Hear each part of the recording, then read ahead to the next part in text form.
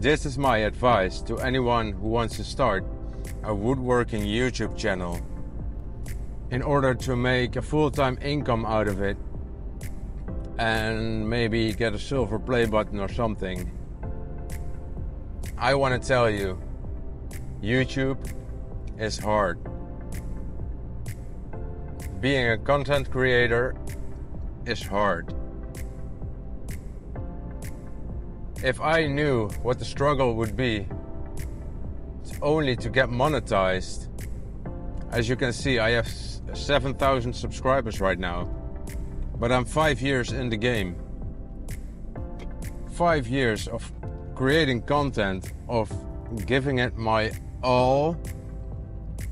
I must be honest, I didn't give it my all because I have a full time job and um, I have a wife and kids, so you cannot give your all to YouTube. You have to divide your time, but I spend hours and hours of making content for YouTube only to get seven 7,000 subscribers in five years while I see other woodworkers, a close friend of mine, explode with the same type of channel, with the same type of content. And he is at, at almost at 200,000 subscribers right now. It's just hard.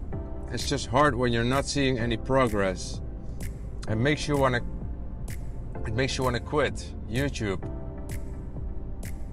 And I won't quit because I love making content and sure, I want to make a full-time salary out of my YouTube channel, but I don't mind the way it is right now. This is just me giving some advice to people who want to start it and to let you know that it's a real struggle. I like YouTube. I like making videos. I will always keep making videos. I don't care if someone watches it and hates it. I get a lot of comments that my English is not so good. Yeah, duh, I'm from the Netherlands. I'm English is, is not my, my main language. Dutch is. I do my best for you guys. I do my best to pronounce everything right, but I make mistakes. And sure, you can hear my accent. I know that. But my friend, my close friend, is from Norway. And he has an accent.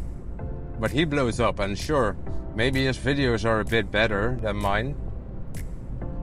Maybe they are not. Yeah, I don't know. I have a couple of videos that are outliers. I have a video about the Festool Exo-Active exoskeleton that got over 100,000 views. I'm fine with that. I love that. I get sponsorships. I get free tools every now and then. I'm very happy with the way my channel is going. But uh, there were th- sorry, there were times that I wanted to quit YouTube. I wanted to quit this game because I would have thought things would go faster. I would get more subscribers. I would get more revenue. At the moment, I make 80, 80 or 90 euros a month with this YouTube channel. Well, that will not let me live off it for a long time. If you multiply my channel by four, I wouldn't even be able to live from it. I have, I would have 200 euros, 250 euros. My channel didn't blow up, but I'm fine. Every now and then I get a comment on my videos, someone asking a question, asking me for some advice. And I I try to respond to every comment because those people, only if it's just one video, if you reach those people, that's a person on the other side of the screen that watched your video and thought, I, am to take the effort to write a comment, to ask something. And if you ask something to someone, you don't do that if you don't think you will get a, a good answer. If you don't think the person on the other side you are asking the question to is professional enough in his job. So every time I get a comment, I see that as a really big compliment to me and my skill as a woodworker and as a YouTuber that I've reached a person only if it's just one. Well, my advice to you if you start a YouTube channel about woodworking, do it because you love it. I started my channel because I wanted to document the projects I made for my clients. I did it because I love filmmaking, I love editing, and I love YouTube. I love the stats on YouTube. I love when videos get views. But if you don't love those things, if you don't love video making, filmmaking, if you don't like filming yourself, don't start because it's so hard to achieve the goals you want to achieve. Yeah, that's the most important thing. Love what you do. If you love making videos, if you love woodworking and that combination, go for it. But don't expect to blow up because only one in a hundred channels blow up like that. Those are unicorns. That best, that good friend of mine is a unicorn. If it's just luck or skill, I don't know, but blowing up will not happen to you.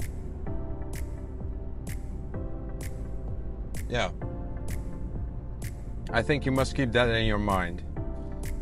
And again, I'm sorry for my pronunciations. I do my best to do everything right. Forgive me if I pronounce something wrong.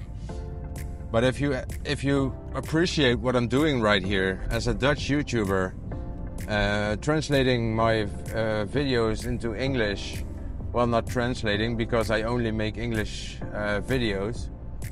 I would really appreciate if you would subscribe to my channel or maybe give it a like or something, show your appreciation, or maybe a comment. I would really appreciate it.